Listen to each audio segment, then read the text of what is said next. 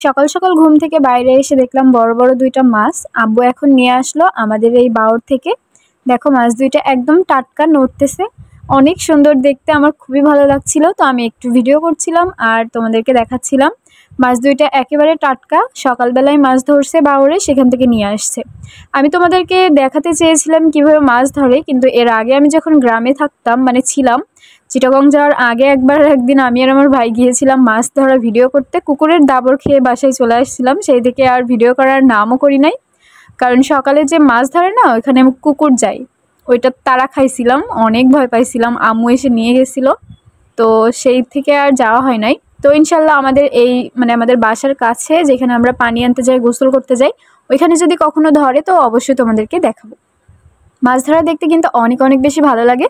আগে তো দেখতাম ছোটোবেলায়, এখন তো যাওয়া হয় না, এখন বড় হয়ে গিয়েছি আর অনেক মানুষ থাকে ওখানে, যার জন্য যাওয়া হয় না। তো সকালে আম্মু মাছটা কেটে নিল আর আজকে সকাল সকালই রান্না করবে, ভাত নাই সকালে মানে সকালে তো রান্না করে কিন্তু আজকে করে নাই। তো এখন বাজে হচ্ছে সাড়ে দশটা মতো, এখনই রান্না করে নিবে। তো এখন মাছটা আম্মু কেটে নিচ্ছে দুইটা মাছই আর আমি এখানে ভিডিও করছিলাম।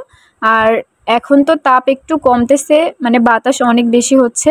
অনেক বেশি বাতাস হচ্ছিল, এখানে বসেছিলাম, আমি ভিডিও করছিলাম, আর আম্মু মাছ কাটছিল আর বাতাস খাচ্ছিলাম এটি দেখতে আমার খুবই ভালো লাগে, মাছ কাটা, মাংস কাটা, এগুলো দেখতে আমার খুবই ভালো লাগে। বিশেষ করে মাছ কাটা দেখতে খুব ভালো লাগে। আর খুব কষ্টও লাগে যে এত সুন্দর মাছটাকে কেটে দিল, দেখো। পিস পিস করে কাটা হয়ে গেল পুরো মাছটা। কত সুন্দর লাগছিল, একটা মাছ আছে। তো এটাকেও কেটে ফেলবে। এখন কেটে ফেলবে, তারপর হচ্ছে ধুয়ে টুয়ে ভাজি করে আবার রান্না করে দিবে। এখনই সকালে রান্না করে নিবে। সকাল আর নাই, এগারোটা বাজে মানে সাড়ে দশটা বাজে, এগারোটা প্রায় বাজতে গেল। তো দেখো কত বাতাস হচ্ছিল এখানে, আর রোদও আছে কিন্তু, বাতাসও হচ্ছিল। এই যে, আমাদের এই মসজিদটার জন্য আমাদের বাসায় অতটা বাতাস আসে না, তবুও অনেকটাই বাতাস লাগে। উপর দিয়ে বাতাস আসে। গাছগাছালি আছে না আমাদের বাসায় এই কারণে। তো আমগুলো কি সুন্দর ঝুলতেছে, কবে যে পাকবে আর কবে যে খাব। কাঁচায় অনেকগুলো খাওয়া হয়ে গিয়েছে, এবার পাকায়ও খেতে হবে। তো এখানে আমি আর ভিডিও করিনি, একেবারে রান্নাবান্না শেষ হয়ে গিয়েছে। তো আজকে আমার আম্মু কলাই হলুদ দিতে ভুলে গিয়েছে, যার জন্য কালারটা আসেনি বেশি একটা। মানে হলুদ দিলে যেই কালারটা আসে সেটা আর আসেনি। তো আকাশটা অনেক সুন্দর লাগছিল, স্বচ্ছ, পরিষ্কার আর বাতাস হচ্ছিল ভালোই লাগছিল। তারপরে বিকালে একটু মাঠের এদিকে আসলাম আর পানি আনতে গিয়েছিলাম বাউরে তারপর বাওর থেকে পানি নিয়ে আসলাম আর বাওরে ফোন নিয়ে যাইনি। আমি ভেবেছিলাম একটু ভিডিও করব, কারণ আজকের বাওরটা এত সুন্দর লাগছিল, কি বলব, পানি বাড়ছে আর বাতাস হচ্ছিল, ঢেউগুলো এত সুন্দর লাগছিল না। আমি যদি আজকে ফোন নিয়ে যাইতাম তো তোমাদের সাথে একটু শেয়ার করতে পারতাম। নিয়েও না, আবার রেখে দিয়েছিলাম মিস হয়ে গেল। তো বন্ধুরা, আবার যখন যাব তোমাদেরকে দেখাবো, অবশ্যই প্রতিদিন বিকালে আমি পানি আনতে যাই। আমি আমার চাচাতো বোনরা, আমরা যাই সবাই। তো এখন আমি রুমগুলো ঝাড়ু দিয়ে নিচ্ছিলাম। এত পরিমাণে গরম লাগছিল, বাইরে কিন্তু অনেক বাতাস হচ্ছে, তবুও ঘরের ভিতর অনেক গরম। তো এখানে যে জামাকাপড়গুলো ছিল, এখান থেকে আমি সরালাম, আমার রুমটা ঝাড়ু দিলাম, তারপর আম্মুদের রুম ঝাড়ু দিলাম। আর ভাইয়ের রুমে আমি যাই না হচ্ছে বদমাস ওর রুমে আমি যাই না। ওর রুম আম্মু গোছায়, আমি গোছাই না। তো এই যে এখন আমি ঝাড়ু দিয়ে নিব, উঠানটাও ঝাড়ু দিয়ে নিব, অনেকগুলো পাতা পড়ছে, অনেক ময়লা।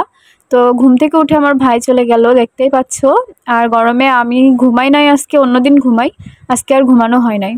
তো এই যে আমি একটু কাজ করছিলাম আজকে, যার জন্য আমি ব্লগও দিতে পারি নাই কালকে। তো আজকে দিচ্ছি ব্লগটা মানে এটা হচ্ছে কালকের করা ব্লগ তো এই যে আমি এখানে ঝাড়ু দিয়ে নিলাম, এখন উঠানটাও ঝাড়ু দিয়ে নিব।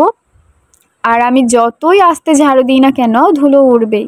জানি না কেন আমার সাথে ধুলার এত সম্পর্ক খারাপ মানে শত্রুতা।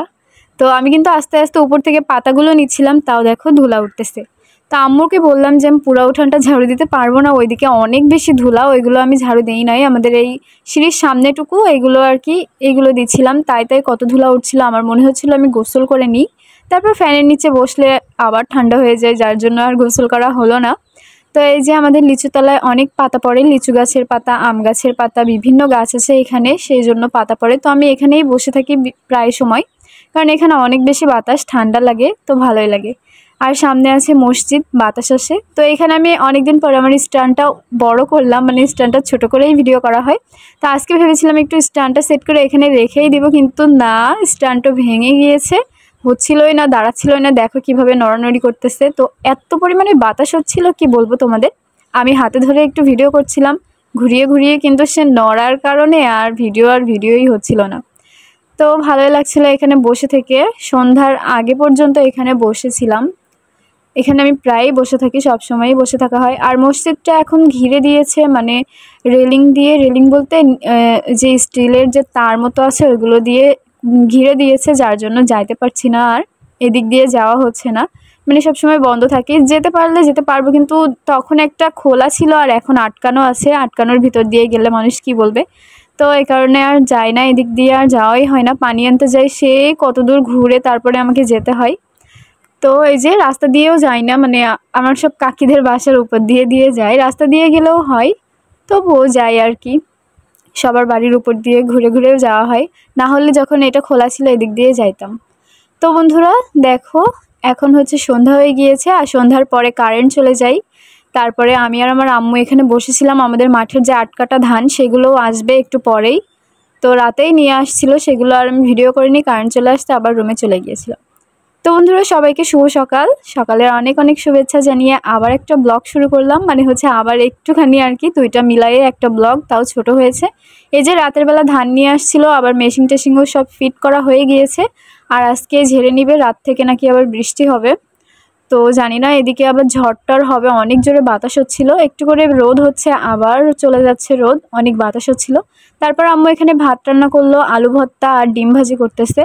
সকালের খাওয়া।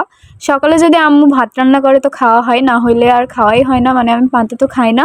আব্বু আম্মুরা খাই তো ওই যে ওইদিকে আব্বু ধান ঝাড়ছিল মানে ঝাড়বে বলে প্রসেস তৈরি করছিল, আর এদিকে হচ্ছে আমরা রান্না বান্না করছিলাম। এখন বাজে সকাল আটটা।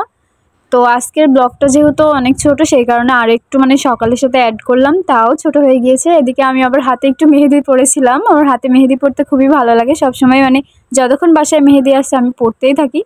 তো আজকে আবার একটা নতুন ব্লগ শুরু করব।